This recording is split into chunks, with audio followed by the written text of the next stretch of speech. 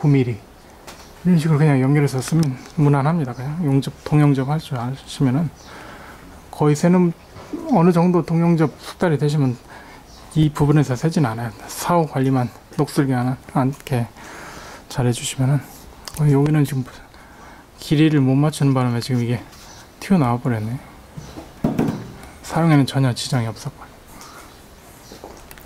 그래서 에어퍼지는 결론적으로 말하면 안 하시는 게 더 좋고 진공 작업을 어떻게 아시는 분들 여름에 안 해주세요 안 해주세요 거기 기사님들이 너무 바빠고.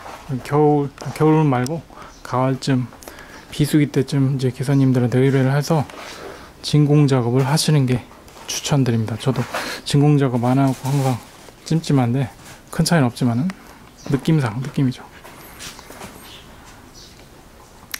진공 작업은 저는 개인적으로 해야 된다는 거.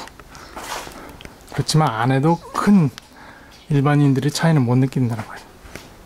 군행, 구형 에어컨 말입니다. 신형은 안 됩니다, 절대로.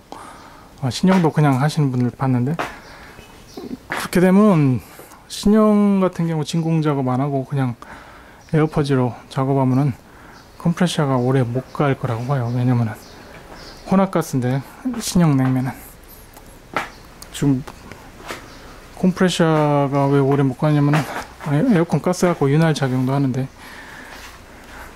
그래서 만약에 잘못 때문에 가스가 잘못되면 컴프레셔가 나갑니다.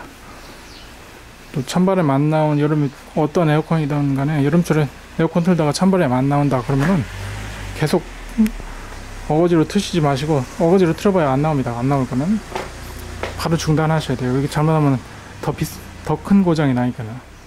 미안해. 컴프레셔가 비싸요. 컴프레셔 고장 나면 뭐 전체 다 나가는 거죠. 다 다 교체해야 되고 뭐.